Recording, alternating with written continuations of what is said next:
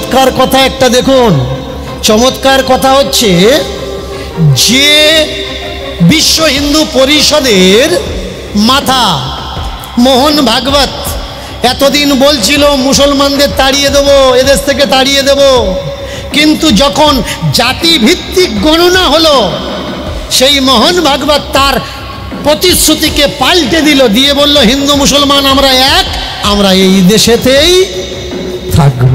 যেদিন ডিএনএ গণনা এলো, আগে জানা লাগবে ভাই, এরা কারা? এরা আমাদের দেশের নয়। আর তোমরা, আমরা যারা গন্ডগোল করছি, এরা কারা? আমরা সবাই ভাই ভাই। ওরা চাচ্ছে এরা গন্ডগোল করুক।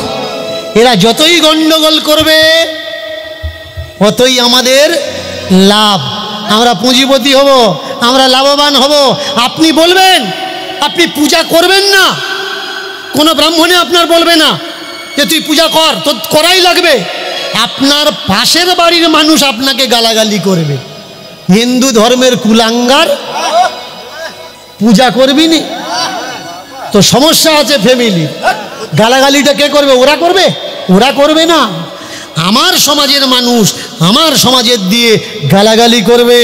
সেদিন তাই মোর লাঙ্গেদের জিজ্ঞাসা করলেন যে তোমরা তো কাফের, তোমরা মূর্তি পূজা করো।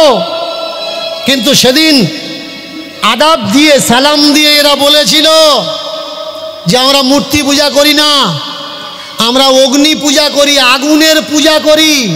এই যে হোম, হোমে যে যজ্ঞ দেওয়া হচ্ছে না, এরা সেদিন বলেছিল, আমরা অগ্নি পূজা করি, আমরা কোনো মূর্তি পূজা করি না।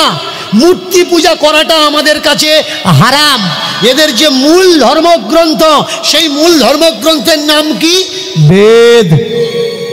বেদে কোথাও দেখাতে পারবেন না যে মাটির মূর্তি পূজার কথা লেখা আছে। আর্যদের মূল ধর্মগ্রন্থ কি? যারা মাধ্যমিক নাইন টেন ইতিহাস পড়ো সেখানে স্পষ্ট লেখা আছে, আর্যদের মূল ধর্মগ্রন্থের নামই হলো বেদ। আর বেদই হলো এদের ধর্মগ্রন্থ যেখানে মূর্তি পূজার কোনো ব্যবধান নেই। তাহলে করজোড়ে আমি জিজ্ঞাসা করব আপনাদের কাছে যে আপনারা ভাই যাদেরকে দিয়ে মূর্তি পূজা করাচ্ছেন, তাদের তো মূর্তি পূজা করাটা হারাম। মূর্তি পূজাটা তাদের করতে নেই, নিষেধ। তাহলে আজকের আমাদের মূর্তিগুলো কারা পূজা করছে? কারা পূজা করছে। আপনি যদি বলেন যে ওদের ডাকবো না আমি করব। আমার ঠাকুর হরিচাঁদ তিনি কি বলেছে জানেন? আমার ঠাকুর গুরুচাঁদ তিনি কি বলেছেন জানেন? তিনি বলেছেন তোমার পূজা তুমি করো না।